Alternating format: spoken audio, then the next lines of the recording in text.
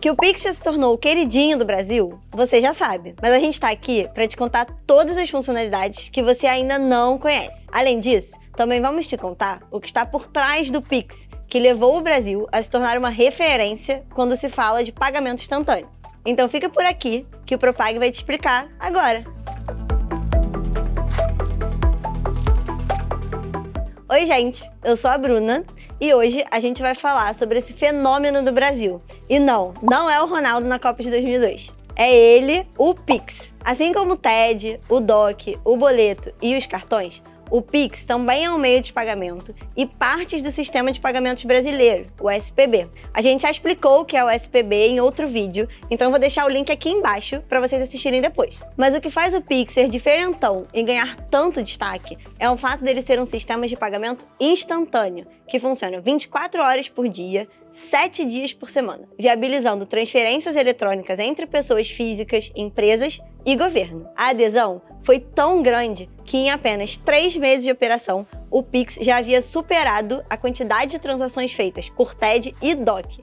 E isso se deu por três principais motivos. O primeiro foi a gratuidade das transações para pessoas físicas e microempreendedores individuais, o MEI. A segunda é a facilidade da transação, porque o Pix é o único meio de transação eletrônica que só pede um dado de preenchimento para identificar o recebedor. Isso fez com que a experiência do usuário fosse melhorada, aumentando a adesão. E a terceira é a rapidez em que o dinheiro é transferido de uma conta para outra, já que tudo acontece em poucos segundos. Mas o que, que faz o pagamento com o Pix ser tão mais rápido quando comparamos com uma TED, que pode levar horas, ou um DOC, que pode levar pelo menos um dia? Isso sem contar que eles só funcionam em dias e horários úteis e podem ter altas taxas. Sim, parece mentira que há dois anos atrás a gente pagava para transferir dinheiro entre contas. Parece que antes do Pix era a gente era Neandertal, pô. Como assim o pagamento voltou? Parece que é um milhão de anos atrás, né? O bagulho tem dois anos, mano. Essa velocidade de segundos para transferência se dá graças ao Sistema de Pagamentos Instantâneo, também conhecido como SPI, que foi criado pelo Banco Central para viabilizar o Pix. Ela fornece uma infraestrutura centralizada e única para realizar a liquidação dos pagamentos nacionais de forma instantânea, mesmo que sejam entre bancos e instituições diferentes. E por que, que o Banco Central investiu tanto nesse arranjo do Pix? Bom, o principal objetivo é gerar competição no setor bancário, mas a gente explica isso mais a fundo em outro vídeo aqui no canal, em que o próprio responsável pelo projeto do Banco Central dá uma aula sobre o tema.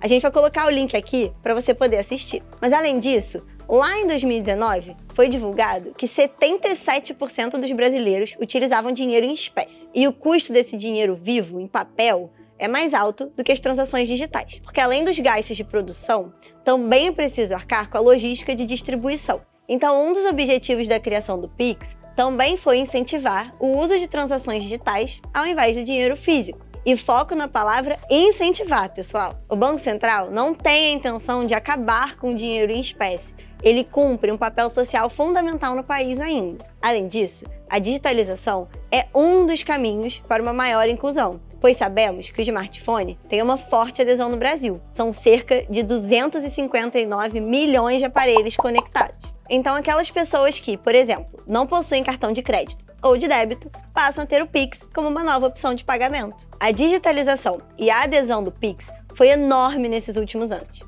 mas esse crescimento ainda não atingiu seu limite. A tendência é que o Pix continue evoluindo e ganhando novas funcionalidades. Agora, a gente vai te contar quais são as funcionalidades mais recentes do Pix e também as que estão por vir. Você já ouviu falar de Pix Saque e de Pix Troco? A ideia aqui é oferecer mais uma opção de acesso ao dinheiro físico sem que necessariamente você precise ter um caixa eletrônico por perto para fazer o saque. Com essas funcionalidades, você já pode sacar dinheiro em diversos lugares, como lojas, mercados e padarias perto de você. O Pix Saque é muito simples. É só você procurar um estabelecimento que aceite essa funcionalidade e depois você faz o Pix com o valor desejado e eles vão te entregar esse dinheiro em espécie. E você não precisa realizar uma compra nesse estabelecimento para poder usar o Pix Saque. Você não entendeu errado não.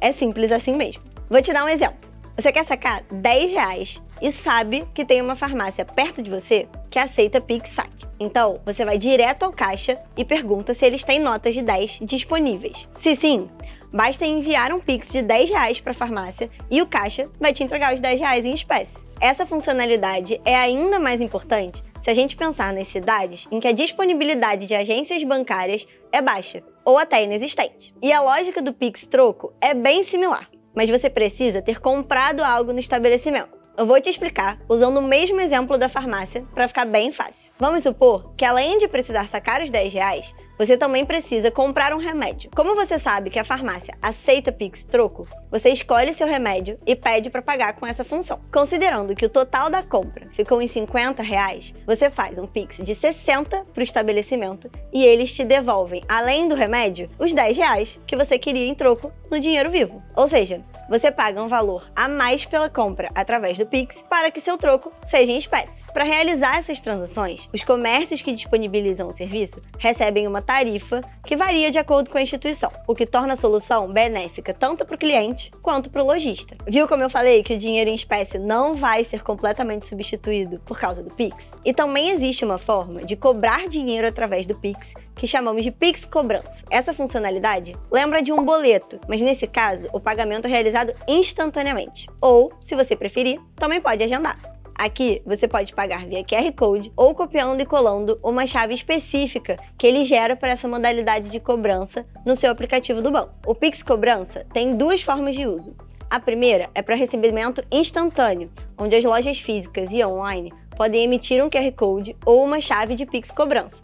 Ou seja, você consegue facilitar que o cliente pague sua compra na hora, sem precisar editar nada. Mas ele também pode ser usado da mesma forma que um boleto, podendo incluir data de vencimento, juros, multas, acréscimos, descontos e outros abatimentos. Existe também uma outra sigla importante de aprender, que é o PISP. Isso significa Iniciador de Pagamentos. A iniciação de pagamentos já existia antes do Pix e é a função que possibilita pagamentos por redes sociais, por exemplo. Na prática, o iniciador de pagamentos permite que os usuários realizem transferências e pagamentos sem precisar entrar no aplicativo do banco ou digitar seus dados bancários, agilizando todo o processo. O objetivo é melhorar a experiência do usuário na realização de pagamentos digitais. E uma das funcionalidades mais recentes é justamente poder realizar o Pix através do PISP.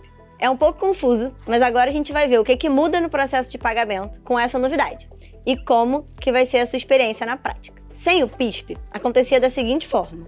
Primeiro, o usuário que ia finalizar uma compra online e queria pagar com Pix recebia um QR Code ou uma chave Pix do estabelecimento. Depois, ele precisava sair da tela de compra, abrir e logar no aplicativo do banco, entrar na área Pix e colar as informações ou ler o QR Code. Ainda era importante conferir os dados e confirmar a transação com a sua senha do banco. Depois de realizar o pagamento no aplicativo, o usuário tinha que voltar para o link da loja para verificar se o pagamento tinha sido recebido e só depois ter a confirmação de compra. Meio complicado, né? Muitos passos, muito trabalhoso. Mas agora a gente vai mostrar como que funciona a mesma compra se o estabelecimento fizer o uso de um PISP. Quando o usuário finaliza a compra, ele escolhe pagar com o Pix e é direcionado para uma tela pedindo autorização para iniciação de pagamento. O usuário, então, vai realizar a autenticação da operação com a sua biometria ou senha. A confirmação do pagamento é exibida na tela da loja e pronto. A compra foi paga e o dinheiro foi debitado da sua conta e creditado na do lojista. Só de falar, já deu para perceber que a operação fica bem mais simples, né? Então aproveita aqui e me fala nos comentários se você já usou essa função antes. E se tiver gostado do conteúdo até aqui, já se inscreve no canal. E as inovações não param por aí não. Já existem outras novidades planejadas para o futuro do Pix. Tem o Pix Garantido, que são os pagamentos via Pix que poderão ser parcelados e agendados. Também tem o Pix por aproximação, onde a maquininha de cartão vai aceitar pagamento via Pix através da aproximação do smartphone. O Pix débito automático, para você poder programar contas como a de luz e a de água. E por fim, mas não menos importante, os pagamentos internacionais. Essa função é uma das grandes expectativas do Pix, que já foi mencionada pelo presidente do Banco Central, mas ainda não tem uma previsão de lançamento. A ideia aqui é possibilitar as transações instantâneas através do Pix entre outros países. Inicialmente, as conversas estão sendo feitas com o Uruguai e com a Colômbia. Já pensou? Poder ir para Montevidéu, Punta del Este, Cartagena e vários lugares incríveis e poder fazer o pagamento diretamente em Pix, mesmo os países tendo moedas diferentes? A expectativa é que no futuro próximo isso seja possível. Esse tipo de movimento é bastante relevante, principalmente com o aumento da quantidade de brasileiros morando no exterior. Como vocês podem ver, as possibilidades do Pix são enormes e ele está longe de ter atingido todo o seu potencial. Tanto que, além dessas funções que já iniciaram ou estão na agenda do Banco Central, existem funções que foram se popularizando entre o povo brasileiro. O Pix Tinder caiu no gosto do brasileiro e fazer transferências de um centavo com uma mensagem pro contatinho rendeu muito meme. E como diz o ditado, todo brasileiro já nasce publicitário. A ideia de centavos rendeu milhões para diversas marcas que enviaram mensagens para seus clientes nesse mesmo formato, porque o custo é mais barato do que os disparos de SMS. Conta pra gente nos comentários se você já recebeu algumas dessas mensagens. Mas apesar de todos esses benefícios, ainda há algumas ressalvas para o Pix no que diz respeito à segurança, porque os fraudadores estão cada vez mais inovando nos golpes. Inclusive, a gente já fez um vídeo aqui no canal falando sobre esses golpes e como se prevenir. Então vamos ver algumas das iniciativas que já são aplicadas pelo Banco Central para aumentar a segurança das transações via Pix. Uma delas é que o Pix conta com várias camadas de proteção: mecanismo de fraude, autenticação de dois fatores e criptografia. Outro é o limite de transações. O usuário pode estabelecer os limites de valor diário que podem ser transferidos. Além disso, no período entre 8 da noite e 6 da manhã, esse limite é de mil reais, o que já é uma segurança do próprio sistema. Mas se o usuário quiser, é só entrar no aplicativo do banco e alterar esse valor. Um terceiro é o bloqueio cautelar. Quando há suspeita de fraude, a instituição pode, como medida preventiva, bloquear em até 72 horas a transação via Pix. Também tem a notificação de infração. Quando há uma suspeita de fraude em determinada chave, todas as instituições ficam em alerta quanto a essa transação. E por fim, existe a lista de confiança, o usuário pode deixar pré-definido quais são os contatos que o banco pode liberar transações acima do limite estabelecido. Vale ressaltar que para essas funcionalidades editáveis pelo aplicativo do banco, como os limites e as listas, as alterações demoram no mínimo um dia para se tornarem válidas. Ou seja, caso você seja vítima de um golpe, o fraudador não vai conseguir alterar seus limites na hora em que acessar. Mas além dessas, existem outras camadas de proteção que vêm sendo constantemente atualizadas para garantir a maior proteção do usuário. O vídeo de hoje fica por aqui, mas para continuar acompanhando as novidades do Pix e do setor, continue assistindo aos nossos vídeos. E se gostou do conteúdo, já sabe, a chave do meu Pix é 219. Então, se inscreve no canal, ativa o sininho e até a próxima!